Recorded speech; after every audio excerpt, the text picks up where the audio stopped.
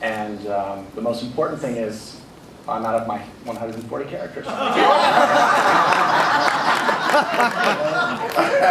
Um, uh, to be able to just play with uh, your friends and, and make something that will reach kids all over the world is an amazing job. I'm the, I'm the luckiest person in the world. I love my job. I'm the luckiest person. No, I am. I'm, I, go ahead, hit me. Wait a minute.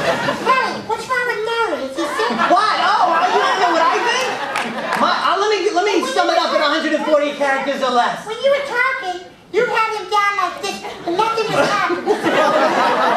Oh, well, because I was trying to be me, hip. See, I'm all confused. That's okay. I know, I'll say what it means to me. Working for Sesame Street is mostly life in a plastic bag inside a box. Thank you very much.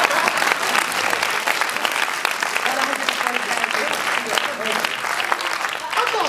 That's all, folks. So, hello. Oh, what's that? Oh, oh, Play yeah. out music. Yeah. Jazzy See ya.